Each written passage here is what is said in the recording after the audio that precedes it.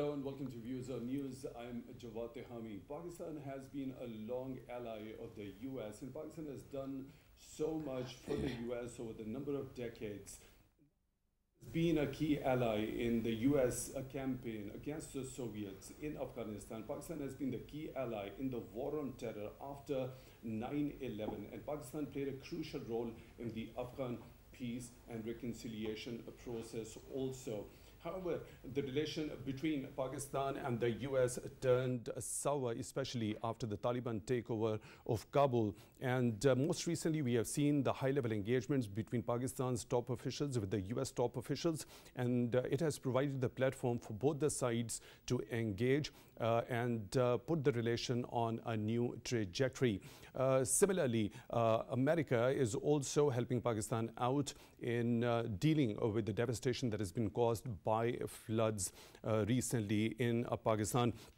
Now, Chief of Army Staff General Qamar Javed Bajwa is also in the U.S. and he had the meeting uh, with uh, the Defense Secretary General Lloyd Austin and also National Security Advisor Jacob Sullivan and Deputy Secretary of State Wendy Sherman and Inter-Services Public Relations Statement uh, regarding this particular meeting says matters of mutual interest, regional security situation and bilateral cooperation in different fields were also discussed uh, during the meeting. Similarly, a readout by the U.S. Defense Department says this long-standing partnership continues today with discussions focused on opportunities to address key mutual defense interests. Uh, we'll delve deeper into discussion uh, to look into the various aspects of the uh, different contours of Pakistan-US relationship and the current dynamics of it.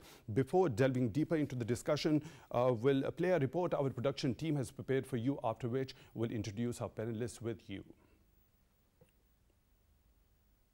Islamic Republic of Pakistan, which occupies a very significant geopolitical geographical position on the world's map and is engaged diplomatically with Central Asia, Middle East, and South Asia, is recently been declared important for the United States' national interest, respective policies, and overall influence of the United States in the global politics by a report prepared by American scholars of South Asian affairs associated with Pakistan Study Group, Washington. The report suggested that the United States and Pakistan need to build a modest and practical relationship with the approach focused on interdependency and mutual benefits. The report suggested that Pakistan Pakistan's valued relationship with China and renewed relationship approaches with Russia has to be taken care by the United States whenever it's the matter of devising the policies involving Pakistan. The report also notes that public opinion in both the United States and Pakistan act as constraints on bilateral relations. The authors also argue that the United States engagement with Pakistan would benefit if it were based on a realistic appraisal of Pakistan's policies,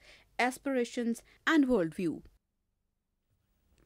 We just watched this report, a report by the Pakistan Study Group uh, uh, that comprises the uh, scholars who specialize in the South Asian affairs has released uh, a report and that goes on to say it is not in the American national security interest to isolate Pakistan or irreparably breach the partnership uh, with Pakistan. And let's jump into the discussion. We are privileged and honored to have been joined in the studio by Dr. Moazzam Ali Hashmi, who is an expert in foreign affairs. He has served as political affairs as advisor to the U.S. Consulate General in Karachi. He holds a PhD in peace and conflict studies. Thank you very much for your time, Dr. Hashmi, for being on the show. Thank you for inviting me. We are also being joined on the Skype uh, by Mr. Abid Latif Sindhu. He is a senior analyst. Mr. Abid Latif Sindhu, thank you very much for your time at Views on News. Also, we really appreciate that. And uh, let's begin the discussion uh, with you, Dr. Hashmi. Uh, there is a report by the Pakistan Study Group, and uh, there are American scholars which specialize in South Asian affairs. And it clearly states that uh, U.S. engagement with Pakistan would definitely be in the interest of the U.S. And isolating Pakistan wouldn't be in the U.S. national interest. Your take on that? Sir? Yes. Uh, international relations do not operate in solitary. The nation state system uh, works in collaboration in a wider network and Pakistan is a responsible state and international like international state system it operate within certain values and rules and Pakistan follows that and every other country follows that number one. So, when we are talking about General Bajwa's uh, ongoing visit, it is a routine professional visit like any professional army chief does, number one. Number two is that what the talks is holding, whatever the political rhetoric within the country is, asides that just keep it to the professional level, number one. And when we are talking about the Pakistan study groups, I personally know some of the scholars in it, they always suggest give a realistic picture. Now, how that is taken by the political regimes and other priorities of national interest that is another thing. And uh, I never say that uh, revival um, you can say that, but you know we have never broken ties with the US. You know there might be some upheavals and all that and it all governs on the basis of national interest US and Pakistan whatever suits you. It is not a kind of a romantic thing, it is a real politic that we have to pursue and this is what is happening. And I see uh, General Bajwa's current visit and his statement uh, regarding many other aspects uh, brings a hope in this US Pakistan relations. And Pakistan need strong partners. Like some rhetoric in the within the political cadre in Pakistan uh, they suggest different weird kind of wild thoughts whatever they are having. But you see you cannot operate in isolation. You go with the, where the world is going and you cannot break ties or live alone particularly with the global powers. Dr. Hashmi, the report also says that US engagement with Pakistan should be modest but pragmatic and it should be based on mutual respect and not on exaggerated expectations. When this report talks about the exaggerated expectations, what does that imply? Well, we have all, all experienced that my way or the highway that was a exaggerated expectation because as a sovereign state you know we have other priorities as well and we also operate within a region with countries some hostiles or some less hostile and this is how we are operating. So, expecting us that you know forgetting Pakistan's own national interest and just fo follow the dictates of something that this is what is exaggeration is and some in the past in the US administration have done that and you know we responded accordingly uh, responsibly as a sovereign state. Uh, let's uh, let's bring in uh, Mr. Sindhu as well. So, Mr. Sindhu, what's your take uh, regarding this particular report uh, that urges the Americans to engage with Pakistan and not um, go for inducement or threats because it's not going going to be in the national interest of the Americans? Actually, as Dr. Saab was saying, you know, all the rational players in the international system, they are bound to engage with each, each other. You know, uh, whatever, if, if, if their national interest somehow or the other. Uh, but as you say that, uh, what are the, uh, you know, what, what, what actually is, you know, happening between, right now, between Pakistan and USA is, we have to, you know, put a little light on the historical uh, baggage which we have we actually enjoy a sort of a secularity uh, type of a thing between the relationship of USA and Pakistan, in which uh, we remained at the either end of the pendulum. On one side, the relations were sometimes very and the other time uh, it was uh, full of apathy. So we have seen Symington uh, uh, amendment, we have seen Pressler amendment, we had seen, you know, the good allied status also and downs. So we have gone through all this. But I think now USA has realized re-engage market and to have a sort of pragmatic engagement. And that is based on, I think, four pillars. And they are uh, trying to build, edify out of those four pillars. And uh, uh, they are also trying to make those pillars segmented and separated from each other. First is the areas where the interests are divergent.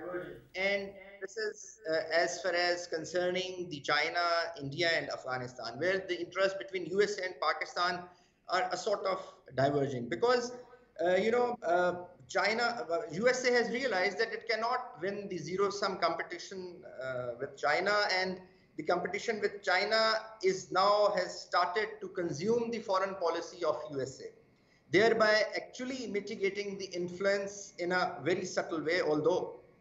And as far as the India is concerned, USA is uh, now focusing more on the bilateral track with India as far as the region is concerned, except the China. And in Afghanistan, they have also realized that walking away has never worked out, and this time also it will never work worked out. And for that, they have to. Uh, as you alluded to the fact that, that these three uh, countries remain to be the divergent points between Pakistan and yeah. the US. Now, let's begin. Uh, this report delves deeper onto various aspects of the relationship uh, vis-a-vis these three countries between Pakistan and the US. Uh, uh, let's focus uh, primarily on Afghanistan. You know, Pakistan has been a key ally with the US, not only in the war on terror before that, in its campaign against the Soviets, drawing them out of Afghanistan, and then played a crucial role in the Afghan peace and reconciliation process. So what's led to the US trust deficit towards Pakistan? You see, uh, Afghanistan is actually, you know, USA has uh, sort of, you know, engaged in Afghanistan in a very ad hoc way. So Pakistan was made to be part of ad hoc wars and they have never actually calculated or they have never actually considered the strategic calculus of Pakistan because Pakistan is also a neighbor to Afghanistan. We have a deep and very cultural affinity, which actually uh, goes back to centuries. And uh, so USA's uh, engagement was, although in their term was strategic, but the regional part of it or the connectivity or the relationship which Pakistan enjoys or the dependence with which Afghan people have over on Pakistan, I think they uh, actually did not, uh, uh, you know, consider it in their strategic calculus. But this time, once they have left Afghanistan and they are trying to, you know, re-engage themselves in the region and particularly with both Pakistan and Afghanistan, I think they have uh, this realization this time around that uh, they cannot have the region stabilized without including Afghanistan and without including all the segment of the Afghanistan, uh, uh, you know, um, uh, the politics into their strategic calculus. Mr. Sindhu, as, as the campaign, as we know about the campaign, the war on terror by the U.S., and 20 years of that campaign in Afghanistan in order to stabilize Afghanistan and to install such sort of a setup that could be inclusive and sustainable. But at the end of the 20 years, we saw something very otherwise. That was exactly what Pakistani authorities were wanting because a peaceful and a stable Afghanistan remains to be the uh, remains to be in the interest of Pakistan. So where did exactly the diversion happen? You see the diversion happened actually into their I, I would say into their strategic calculus. Every war you can win a war by three things if you have three ingredients. Number one is the geography number two is the tactics and the third is the technology. So they were very much superior in technology as far as their engagement in afghanistan is concerned but they actually never considered that geography and the tactics which is also part of the culture that also counts a lot and uh, once you are uh, you know you are you have uh, sort of engaged yourself uh, to uh, get rid of a particular terrorist organization and you don't have a long haul or a strategic plan to actually engage with the people then it ends up the way it ended in afghanistan that has that usa has to leave and they have to leave uh, with the mess as spread out as it was there even if they came before sort out the problem of on the part of the Americans. Uh, let's yeah, bring yeah. in uh, Dr. Hashmi. So, so what's your take uh, vis-a-vis Afghanistan? Pakistan has been very clear that Pakistan wants a peaceful and stable Afghanistan, and that was particularly the intention of the U.S. when they launched the campaign of war on terror in Afghanistan 20 years before. Yes, peaceful relations with Afghanistan is the pivot that we that we reiterate time and again. The problem, you know, uh, the learned analyst, uh, he mentioned that the historical relations. What historical relations? See, they have already been chaotic, never been pro Pakistan. No, in the past 75 years, if you look at that, even beyond that, barring a very brief stint that ended in 2001 of Taliban's, then Taliban, right? Now, Factors is that number one, I don't think so as much as I know US and their style of thinking with my own professional experience, I don't think they miscalculate anything. It's not miscalculation, it might not be according to our or somebody, someone else's wishes. But it, it didn't uh, turn out to be in a complete victory after 20 years. No, in my opinion, nobody go for a, an all an all out complete victory. What they wanted in my opinion they have achieved their goals. They have developed their assets over there. They do not need large deployment over there because the war theater has to be shifted elsewhere and it has right? And there, there is there was no need to further engage with them. Let china deal with whatever is happening over there because china has a uh, you know big stakes over there in mineral exploitation, CPEC or pipeline BRI and all that. So let China deal with that. Why should they focus their energies on it? Now, when we are talking about Afghanistan and Taliban in particularly, I have seen them in the past 40 years always been ungrateful Pakistan is the only city, only country which is still hosting the largest population of refugees, anywhere displaced refugees in anywhere in the world. We are still doing that. Now, if you don't want to recognize the fencing, this is the Taliban irritation number one. You don't, you want a free country as you used to go around, right? Now, you start charming with India against Pakistan, of course, we have to have an objection against it you know it's against our national interest. When Taliban came, India ran away. Now they have reopened the embassy in Kabul, and you know all that things have started. Another irritation is that we simply ask them, with, based on our information, that bring us Maulana Masood Azhar, Jaish-e Muhammad, and they, they denied that. We have even have said that in Kunar or um, Nangarhar programs, there is a possibility of okay, camps and you know presence of uh, Masood Azhar. Give it, to they simply denied it. Another point is that time and again they revert. This way or that way you know they forget. Sometimes they talk about TTP favoring us or not favoring us. They do not realize that they I would say that Taliban need a corrective lens to see the dynamics. Now as for the reality Taliban are forced to reckon with seasoned hardened military force no doubt about it right only problem is that meanwhile Taliban in the past 30 years uh, gaining military experience. Others in Afghanistan they were gaining political and administrative experience that Taliban still lack. A year ago they came and you know now they realize that okay governance is something else, statecraft is something else, fighting in the battlefield is something different. Now they, this is their problem and this is their frustration. Right. Dr. Hashmi, your point is well taken. We'll delve deeper into another aspect of this uh, regarding the humanitarian crisis yeah. the Afghans uh, are faced with after uh, the international troops withdrawal. We are now joined by another participant in the show, Mr. Najmus Saqib, who is a former ambassador. He's joining us from South Africa on the phone line. Mr. Saqib, thank you very much for your time at Views on News. So uh, there is a report by Pakistan Study Group uh, that comprises of uh, the American scholars who specialize in um, the South Asia affairs. Uh, the report says that there, uh, there are certain divergent areas between Pakistan and the US and Afghanistan remains to be one of those. Since uh, we have been discussing earlier in the show uh, that the war on terror, the campaign the US had for 20 years in, the, uh, in Afghanistan and Pakistan had the same uh, goal of having peaceful and stable Afghanistan. So why does it remain to be a divergent area between the US and Pakistan? Thank you. God, I can uh, hear me all right.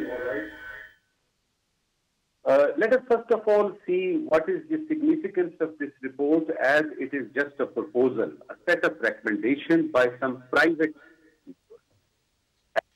that contain Washington's official position.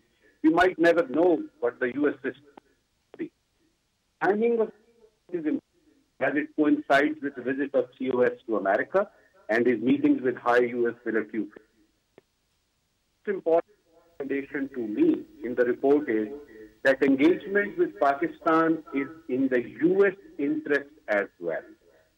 Engagement with Pakistan is in the U.S. and in this regard, Pakistan's geographical importance has been highlighted along with saying that it possesses nuclear arms, etc. The second aspect is seen as anti-US equation.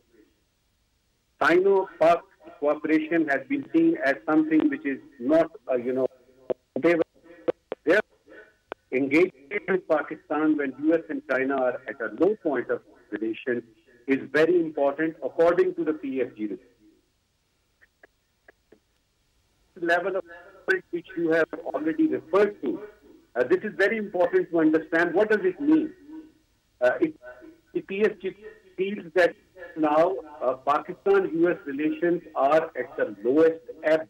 So let us start with the modest level of engagement, you know, which starting all you know uh, trajectory of relations. There are a few facts that I would like to you know highlight uh, to you, your eminent. Uh, uh, fact number one is that U.S. is annoyed at Pakistan right now, you know, with regard to Afghanistan, Taliban, and we have seen U.S. reaction, ATF, FATF, and I. Secondly, U.S. is annoyed because of our pro-China stance and policy. Recently, Especially, you know, the conspiracy and the regime change here and absolutely not and all these have some kind of annoyance in Washington. Fact number two, U.S. wants engagement on counterterrorism, security, and border issues, whereas Pakistan's concern relates mainly to factors. There are only four factors. Third factor, U.S. will not play any role in addressing the issue. This is what TF uh, highlights that U.S. is any role in addressing Kashmir issue. Uh, what does it mean? Mr. Mr. Mr. It Mr. Saqib, Mr. Mr. Saqib, beg your pardon, beg your pardon for the interruption. Unfortunately, there is distortion and we can't hear you properly. So we'll try to reconnect to you uh, in a short while from now. So, uh, Dr. Hashmi, when we yes. talk about uh, in specific about Afghanistan, uh, since the uh, withdrawal of the international troops from Afghanistan, there had been a dire situation there, the humanitarian and the economic crisis. So this report goes on to say that uh, despite the divergent ideas and uh, uh the understanding of the situation in Afghanistan, both the US and Pakistan can cooperate in order to alleviate the sufferings of the people. How can both the countries do that? Yes. Uh, I wrote a detailed article before the OIC summit over here, foreign, foreign ministers uh, extraordinary meeting over here that was on Afghanistan. So I highlighted all that. I'll tell you something, few of the important points. At that point and still, and they have multiplied six major epidemic outbreaks that Afghanistan is facing since start of the winters, right. There is a shortage of food over there, right?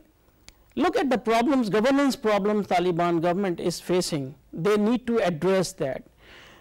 And then food security problem, shelter problem, and then you know you have a foreign relations problem, and this situation of uh, plight of the people.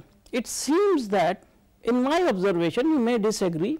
It seems that Afghanistan probably is divided into two major ethnic groups, the Pashtun speakers who are ruling and rest of the people, the speakers and etc. right. And most of the people who are in trouble, they are from the other ethnic group. It seems that they might be considered as the children the of Afghanistan is being governed by the Afghan Taliban. Yes, no doubt. I said other people are being comparatively ignored and the devastation, right? They have been ignored and you know there are uh, 40, of the 40, 400 millions, you know, 40 percent or almost uh, 40 or 50 percent of the population using a dire need of serious uh, that is what exactly the entire world knows yes, that exactly. Afghans are facing a dire economic and the humanitarian situation. After the international troops withdrawal, the US froze their assets. Pakistan's Prime Minister Shehbaz Sharif, during his address and on the sidelines of the recent UN General Assembly session, urged uh, uh, Americans to unfreeze those assets. Mm -hmm. So, uh, in one aspect, that measure, do you think can help uh, the Afghans deal with this situation in the immediate yes, certainly money is always very helpful uh, in most of the cases uh, and to resolve and address issues. The problem is that when Afghanistan, uh, then Taliban came in the government last year, it's year and a, a month over now, they promised certain things and they have failed to live with their promise, right. It's uh, 381 days girls are out of school in Afghanistan. That was one of the big promise and that was a strategic political mistake at the hands of Taliban. They could have let the women work and you know what world would be happening. They thought that now we are in power, we can twist arms. That certainly doesn't work twisting arm. That That's will, what that I thought. Uh, that will increase the difficulty of getting recognized exactly. as a legitimate government. And also, so let's bring in and Mr. So also to get unfreeze their assets. It's well. not going to happen just like that. Right. Mr. Najmus Saqib, former ambassador from South Africa, is joining us again. Um, uh, Mr. Saqib, unfortunately, we couldn't hear the three important points that you were highlighting. First, I could understand it was pro-China policy of Pakistan that makes the U.S. annoyed towards Pakistan. So if you would like to repeat the other two points also. Uh, I'm sorry, line interruption. I was just telling that we, we need to see the facts, you know. Fact number one is that U.S. is annoyed at Pakistan. And as the panelists are highlighting, the Taliban policy, Afghanistan, and our pro-China policies, which are seen in Washington as anti-U.S. policies, the recent events last, uh, uh, you, know, you can say two or three years, uh, ending in regime change, conspiracy, absolutely not, etc. All these things have annoyed, uh, seriously annoyed the US. And we have seen the ramifications of this annoyance in shape of more, you know, complications in IMF and FATF and all that. So, Mr. Second fact is that US see, wants engagement. any thought now uh, after the high-level engagements of the Pakistan top officials on the sidelines of the UNGA with the US top officials? Because US is helping Pakistan out in mitigating, uh, mitigating the impacts of climate change also. Yes, yes, yes. Climate change, we have no issue. In fact, US is uh, in the forefront then, then, there is another development approval of $450 million uh, sustenance deal uh, to sustain the F-16 fleet in Pakistan. Yeah, yeah, that's right, that's right. That is a separate issue as far as climate change is concerned, energy resources are concerned, and other, uh, you know, uh, uh, non-military, non-political, non-diplomatic issues are concerned. We have no problems with the U.S. The problem is in the political field, in the diplomatic field, and more importantly, with, with regard to Pakistan in the economic field. US wants only right now, after the withdrawal of NATO and its own forces from Afghanistan, it wants Pakistan's you know, contribution and attention only to three areas.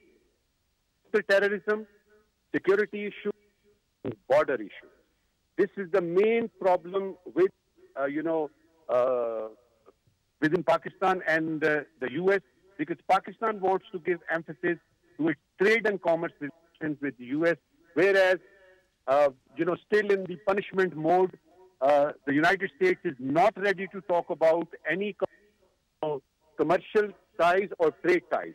That is one area uh, where, uh, you know, uh, Foreign Minister Zardari and Bani Khar and all those people who have visited during the 77th session of UNGA, they, they highlighted the thing that Pakistan, particularly in, in you know, in the context of ongoing flood, Pakistan's economy uh, needs uh, uh, special attention from the US and the West and its allies. Why? Because uh, the geographical uh, importance aside, Pakistan has been a strategic partner of the US and the misgivings and understandings must be cleared and I can tell you and your uh, panelists and all the viewers that are watching you that positive things have started happening. So positive uh, thing has started happening. Mr. Saqib, when we talk about uh, the pro-China policy, as you mentioned, of Pakistan that annoys um, uh, the U.S. also, we uh, saw statements coming uh, from the spokesperson of the State Department, Mr. Ned Price, and uh, uh, earlier in the year he said Islamabad doesn't need to strain its relations with China to maintain ties with uh, Washington. So what does that mean? You know, Jawad, you know, Jawad, the, the thing is that we don't understand, many of us, we don't understand China's disposition, their culture, history, and their foreign policy.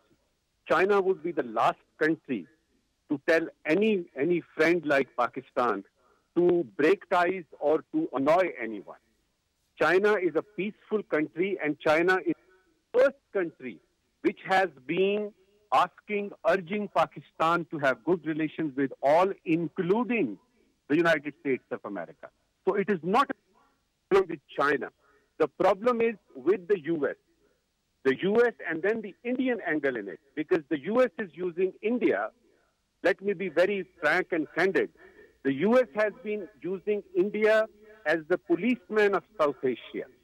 And the China containment policy of NATO, EU, the US, the whole US, suits, uh, you know, uh, that, that uh, India uh, is there as, as a tool against China, as a counter, you know, uh, force or counter factor against China.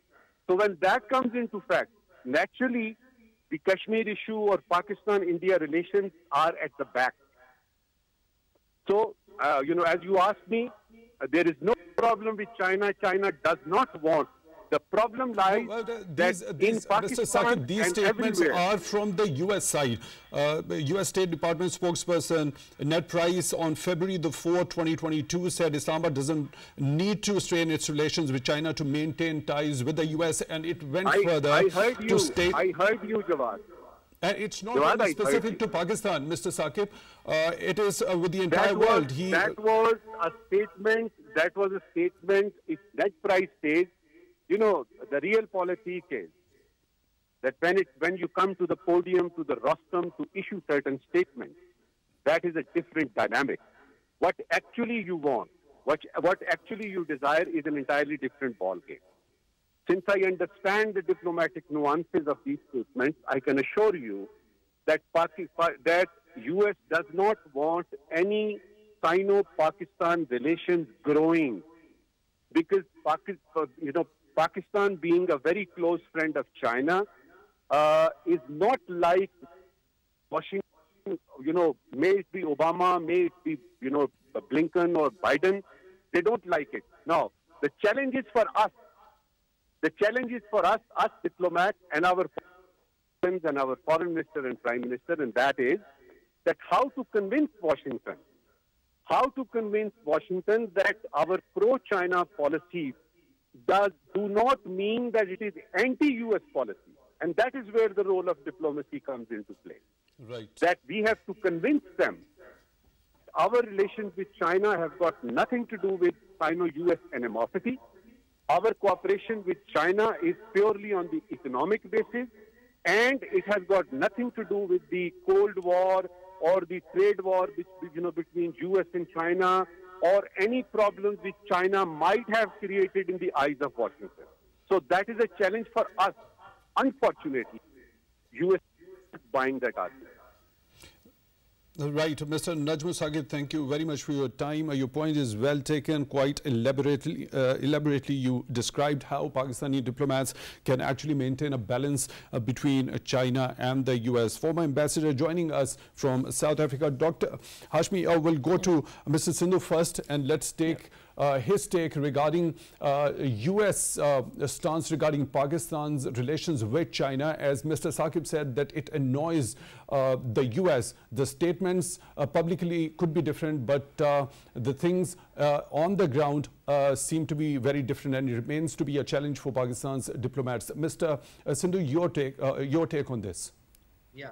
Uh, first of all, uh, just a word Hashmi was saying that uh, uh, probably he thought that I have mentioned that Pakistan and USA had very historical relation. I just said that we had historical baggage, not the historical relations which I was trying to, uh, you know, identify.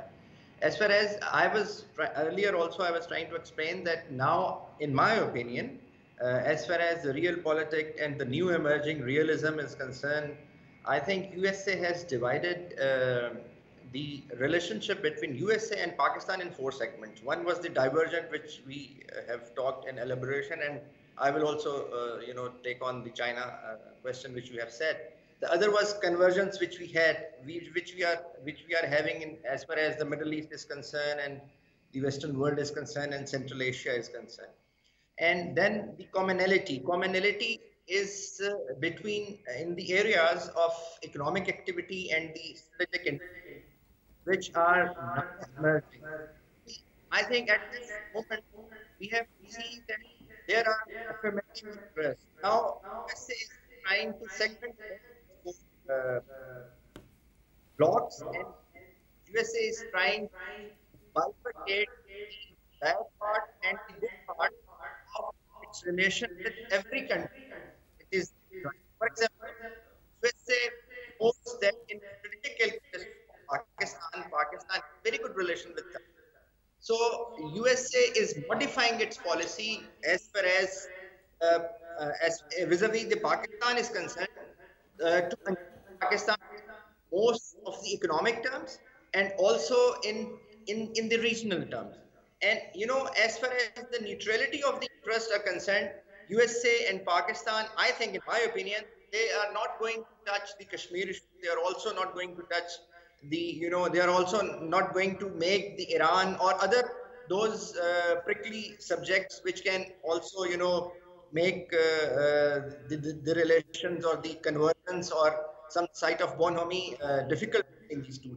Mr. Mr. Sindhu, very briefly, why why won't the U.S. Um, come on to the Kashmir issue? Uh, because it remains to be a sticking point between Pakistan and India. It remains to be crucial to be resolved as per the UN resolutions. It has once again been highlighted by Prime Minister during the UNGA address as well. That is the reason is very simple because uh, USA is not taking uh, Kashmir as the major uh, between its relation, strategic relation with. So as far as Kashmir is concerned, USA never wants to annoy that strategic balance which is it is trying to strike with India, uh, particularly in the uh, Asia Pacific region, uh, region. So USA is trying to avoid Kashmir, but on the other side is trying to make a parallel sort of a bilateral track with Pakistan on other issues which as uh, Ambassador Saab was saying on climate, on economic relations and on technology, transfer of technology and other all so many host of issues. Your take uh, uh, regarding Pakistan's uh, relations with the US when it comes uh, to relationship with China, how to maintain that balance between both the countries? For the Pakistani I, diplomats, yes. as Mr. Saqib already uh, alluded to the fact it's going to be a challenge for Pakistani diplomats. I agree with uh, Mr. Sindhu's point that, you know, it's uh, an uh, former ambassador's uh, point that you know it's a revival of kind of a relationship with the U.S. And like ambassador has mentioned that you know some people are unhappy in Washington, some people are always unhappy. You cannot make everyone happy. This happens, right? The school of thought, but it does not mean that those unhappy element or too much happy element actually dictate the foreign policy toward a specific. It does not happen at least in the US kind of a liberal, liberal democracy, uh, democracy model, right. So, it, it goes balance and with the priorities of your interests and our interests, Pakistan also going about that. One development I see is that Pakistan's sovereignty and its decision in its own foreign policy and priorities has been recognized, not only recognized, it has been respected also as the Pakistan SCD group has pointed out in the report at certain places. So, this is one development I see and you can say that it's a kind of a new beginning or revival. This happens all the time when you know their interest goes down they just drift away and our interest go down we drift away. So it's something like this. Like mr sindhu has pointed out that you know our irritated irritating issues with india will not be definitely addressed. So they will so, remain uh, yes. dr hashmi when specifically when we talk about pakistan's relation with china it's a long standing all weather yes. strategic partnership as well. Uh, there had been uh, cooperation in multiple multiple domain, domains between Pakistan and China. CPEC remains to be the flagship project of uh, Belt and Road Initiative. So um, uh, these statements, when come from the U.S. side, that U.S. doesn't want Pakistan to strain its relations with China, as Mr. Saqib says, that uh, the situation on the ground and on the podium remains to be different. Yes, exactly. This is what for public consumption you say something else and you know in reality in the policy decision making process you pursue other path, right? Because everyone, a common man does not understand the uh, finesse of the politics. So, this is actually what the case is. I do not think uh, US uh, has mentioned in the statement that you know not very happy with further development of the Pakistan-China relation, but it is not the case. They do realize that how far we can go with that. If you look at that angle, look at India and China relationship, right? They have clearly sorted out political difference, Ladakh or even previous uh, skirmishes and all that.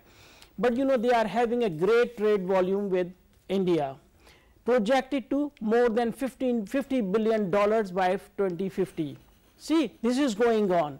So, this is going along this side. So, the world realize countries do realize there how it is going to work. So, I do not think you know anybody is going to have a very serious big objection just you know you raise the flag that just be careful right. in case this is how it I see right. it. Right. Dr. Moazzam Ali Hashmi expert foreign affairs it was wonderful having you on the show today. We really appreciate uh, for you being here on Views on News. Thank and uh, we were also joined by Mr. Abid Latif Sindhu, senior analyst on Skype.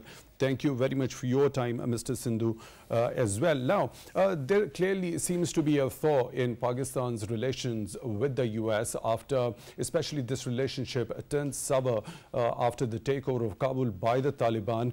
And now we have seen high-level engagements. You have Army Staff General Qamar Javed Bajwa is also in the U.S. Uh, the U.S. Uh, is helping Pakistan out uh, to uh, meet with the devastation caused by the recent floods. Also, a $450 million uh, deal has been approved. Uh, it seems uh, the positive trajectory between Pakistan and the U.S., the ties, the relations are going to be on a new trajectory. And this thaw would definitely lead both the countries to do well in the coming days. But at the same time, this report suggests that uh, the engagement with Pakistani authorities of the U.S. officials is going to be in the national interest of the U.S. At the same time, the U.S. authorities need to understand the misery not only the Afghan people are facing right now after the international troops withdrawal, but also the kind of misery Kashmiris are facing under India's illegal subjugation.